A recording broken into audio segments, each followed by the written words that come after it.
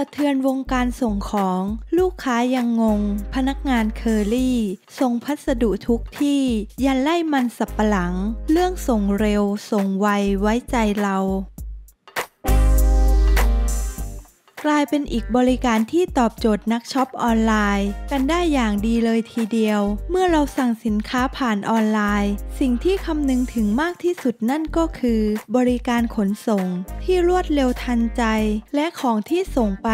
ไม่ได้รับความเสียหาย นอกจากไปรษณีย์ไทยแล้ว อีกหนึ่งบริษัทเอกชน ที่กำลังมาแรงที่สุดในตอนนี้ นั่นก็คือ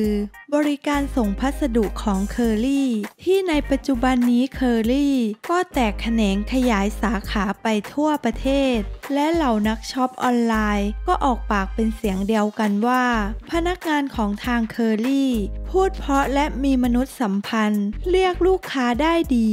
มีบริการที่ส่งรวดเร็ว และสิ่งของมาถึงมือผู้รับในสภาพที่สมบูรณ์เรียบร้อย นอกจากนี้ทางเคอรี่ยังมีบริการที่เข้าถึงในทุกๆพื้นที่ ไม่ว่าคุณจะอยู่ในซอกหลืบไหนของประเทศนี้ก็ตามและล่าสุดในสังคมโซเชียล ก็มีการแชร์ภาพของหนุ่มชาวไล่มันคนหนึ่ง ที่โพสต์ภาพขณะพนักงานส่งพัสดุของเคอรี่ ได้นำของที่สั่งออนไลน์ มาส่งให้ถึงไร่มัน แม้จะไม่มีบ้านเลขที่ก็ตาม ทำเอาชาวโซเชียลต่างกระหน่ำแชร์ เรื่องราวดังกล่าวออกไปเป็นจำนวนมาก งานนี้บอกเลยว่าไปรษณีย์ไทยมีหนาวปากสันแน่นอน เมื่อเจอคู่แข่งรายนี้อย่างแน่นอนค่ะ ขอขอบคุณข้อมูลจากสยามนิว .com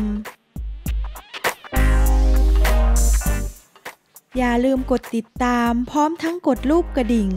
เพื่อแจ้งเตือนทุกครั้งที่มีคลิปใหม่ๆ จะได้ไม่พลาดคลิปของเรื่องเล่าข่าวค้นนะคะ รักทุกคนค่ะ